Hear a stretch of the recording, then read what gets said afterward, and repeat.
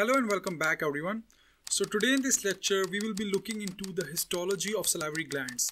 So let's first talk about the organization of a salivary gland and the inside of the salivary gland. So inside the salivary gland there is an extensive network of branching ducts and all of these branches terminate into a sac-like cavity at the end. This sac-like cavity or the sac-like endpiece is known as the secretory endpiece and it is here where the main production of saliva takes place. These end pieces are also known as the acini contain cells that are responsible for the production of saliva and these cells surround a central lumen where they empty their secretion which is then carried out by these ducts. But we will discuss more on these ducts later. Let's first discuss the secretory endpiece. So there are basically two types of end pieces. One is the serous end piece, which consists of serous cells and the other is the mucous endpiece which consists of mucous cells. So let's talk about the serous end piece first. So the serous end piece is typically spherical in shape. Each end piece consists of about 8 to 10 cells surrounding a central lumen.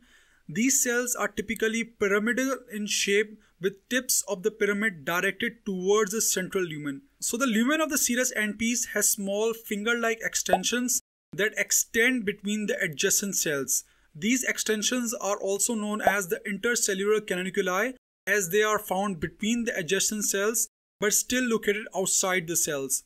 These intercellular canaliculi basically serve to increase the surface area of the lumen. So now let's talk about the individual serous cells. So like I've already mentioned, these cells are pyramidal in shape. They have a typical spherical nucleus which is directed basally inside the cells. They also have numerous secretory granules in which macromolecules of saliva are stored.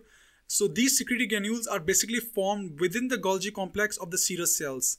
So other than these two structures, which are the nucleus and Golgi complex, serous cells also contain other typical organelles like mitochondria, lysosomes and peroxisomes. So when we have a closer look at the cell membranes of these cells, we observe that it displays an important feature that it has regular folds on it and these foldings greatly increase the surface area of the cells. And also in the cell membrane exists various cell junctions which enable the adjacent cells to be joined to one another and also to the basal lamina. So these junctions basically allow the passage of small molecules and ions between the adjacent cells Hence, these cell junctions probably serve to coordinate the activities of all the cells within a single endpiece and therefore these junctions are thought to help in creating a single functional unit. So now let's talk about the mucous endpiece. So the mucous endpieces are typically tubular in shape with a cylindrical or a round type of profile in which the mucous cells surround a central lumen. The lumen is usually larger when compared with that of the serous lumen so very important feature that exists only in the mucous endpiece of major and some minor salivary glands that is that they have a small portion of serous cells that are arranged in the form of a demilune or just like a crescent of the moon. These demilune of the serous cells have a very small portion and only cover the mucous cells at the end of the tubules. So these serous cells of the demilune have the same physiology as that already discussed and their secretion reach the lumen through intercellular canaliculi which extend between the mucous cells all the way up to the serous demilune. So now back onto the mucous cells. So the mucous cells have a very important feature that is that they have accumulation of large amounts of excretory products. These excretory products are in the form of large secretory granules and appear very dark purple when viewed with the electron microscope. And because of these large granules, the nucleus along with other organelles is pushed to the basal side of the cell. So these granules are basically formed by large Golgi complexes which are also located on the basal side of the cells. So the Golgi complexes basically first give rise to small granules which eventually increase in size and join the other granules as well. So the mucous cells, just like the serous cells, are joined to one another by various cell junctions, but they lack intercellular canaliculi that was present in the serous endpiece, except for the ones that have the serous demilune covering them on the top as previously discussed. And if a mucous endpiece lack this serous demilune, it will most likely also lack the intercellular canaliculi. So this was just a brief discussion on both type of endpieces. So it is here in these endpieces where the saliva is produced and the saliva that is produced inside these endpieces is known as the primary saliva. So this saliva now passes through a series of ducts.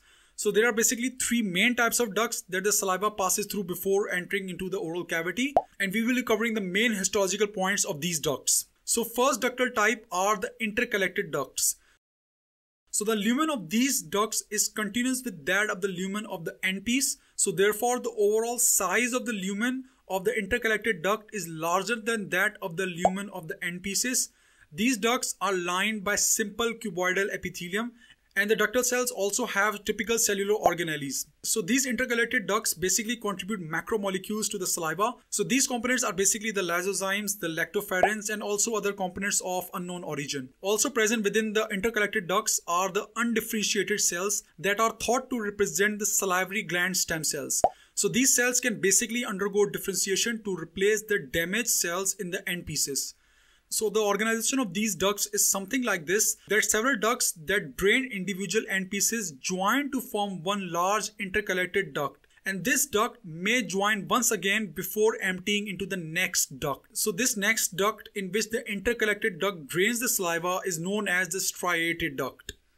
So the striated duct constitutes the largest portion of the ductal system within the lobule of the salivary gland. The ductal cells of striated duct over here are columnar in shape and their lumen is larger than that of the intercalated duct. So when we have a closer look at these ducts under the microscope, we observe that their cytoplasm, typically the basal side of their cytoplasm, exhibits faint striations and therefore they are named as the striated duct.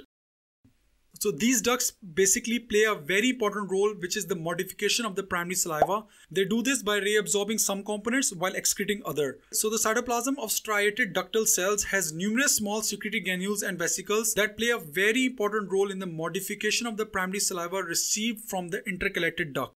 So now after modification, this saliva goes to the next ductal system which are the excretory ducts these excretory ducts are located between or outside the lobules of the gland. So the excretory ducts have pseudo-stratified columnar epithelium, but this epithelium may become stratified when nearing the oral cavity through the main excretory duct. Occasionally along the excretory ducts are located many other cells like one of these cells are the tuft cells around which nerve endings are occasionally found. Other cells include the lymphocytes, the macrophages and also other various cells. So now the saliva finally exits the gland into the oral cavity through the main excretory duct which is formed by the union of other excretory duct carrying saliva from other lobules as well. So there's one particular cell which I didn't mention previously which plays an important role in the secretion of the saliva. This group of cell is known as the myoepithelial cells. So the myoepithelial cells are basically contractile cells and therefore capable of producing self-contraction. They are associated with secretory end pieces and also with the intercalated ducts. These myoepithelial cells are basically similar in function to the smooth muscles and are in the form of stellate shape. So the function of these myoepithelial cells is very important to note. So as I've already mentioned, these cells are capable of producing self-contraction and the contraction of these cells around the secretory end piece is thought to provide support to the end piece during active secretion of saliva which helps to expel the saliva in the ductal system. While the contraction of myoepithelial cells around the intercalated ducts shortens or widens the lumen of the ducts. But recent studies however have also revealed that these myoepithelial cells may have a more important role than just contracting. They may provide signals for maintaining cell polarity and structural organization of the end pieces. And also they are found to produce a number of proteins that may have a tumor suppressing activity. So this was just a brief overview on the histology of the salivary glands. So let's just have a brief recap on what we have just discussed. So the organization of the salivary glands starts from the oral cavity as the main excretory ducts. This excretory duct progressively divides into smaller interlobular excretory ducts that eventually enter the salivary lobules. Inside the lobules, the main ductal system, which are the striated ducts, play a major role in the modification of the primary saliva. Connecting the striated ducts to the end pieces are the intercalated ducts that branch once or twice and then join the end piece where the lumen of these intercalated ducts becomes continuous with that of the lumen of the secretory end pieces. In some glands, small extensions of the lumen known as the intracellular canaliculi may be present between the adjacent cells which may serve to increase the surface area of the lumen. So if you look at this entire formation very closely, you may notice a similarity between the bunch of the grapes with the grapes representing the end pieces and the branches of the grapes representing the ductal system. So for ease of understanding, salivary glands are often compared with a bunch of grapes. So this ends my lecture over here in which I have covered the important points about the histology of the salivary glands. If you still have any confusion or any questions, please do comment down below and I will try my best to answer them.